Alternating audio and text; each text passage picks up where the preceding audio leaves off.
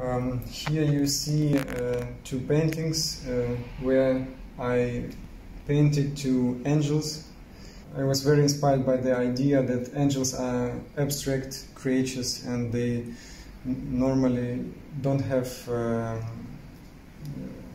human appearance and uh, they cannot fly like I also tried to make them abstract uh, but I let some details from human like eye.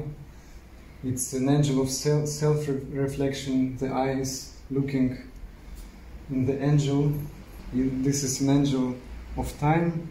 Things from our life, like this uh, spray bottle, for me was uh, very interesting to mix uh, pop culture with uh, this old religious and mystical.